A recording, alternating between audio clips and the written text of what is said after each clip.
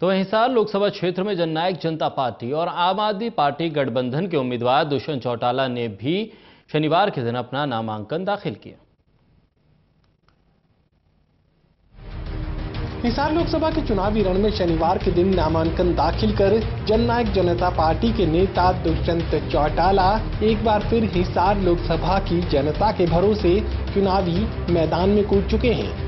दुष्यंत चौटाला का नामांकन भरवाने पहुँचे उनके पिता और पार्टी के संरक्षक डॉक्टर अजय सिंह चौटाला, माता नैना चौटाला और गठबंधन की भागीदार आम आदमी पार्टी के प्रदेशाध्यक्ष नवीन जय हिंद।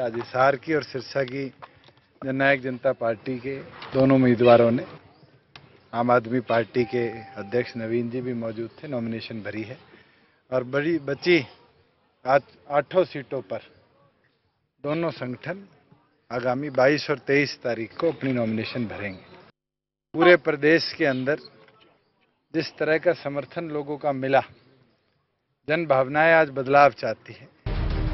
बेटे दुष्यंत चौटाला का नामांकन भरवाकर मीडिया से मुखातिब हुए डॉक्टर अजय सिंह चौटाला ने कहा कि हिसार का चुनावी मैदान उनके लिए नया नहीं है। एक सांसद की हैसियत से दुष्यंत चौटाला ने हिसार की जनता की पूरी सेवा की है। ऐसे में हिसार की जनता दुष्यंत का पूरा साथ देगी।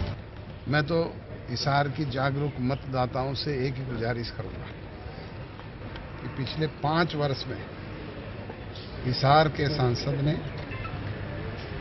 जन भावनाओं के अनुरूप काम किया है, आपको सम्मान दिया है, आपकी इज़्ज़त बढ़ाने का काम किया है, आपका प्रदेश और देश की लोकसभा में अगर गौरव बढ़ाने का काम किया है तो आप उसे आशीर्वाद दें।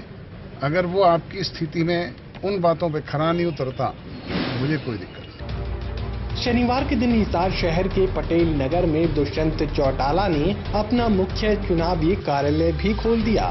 कार्यालय के उद्घाटन पर डॉक्टर अजय सिंह चौटाला ने कहा कि दुष्यंत को जीत की मंजिल तक पहुंचाना अब पार्टी के हर नेता और कार्यकर्ता की ज़िम्मेदारी है। Bureau report, total news.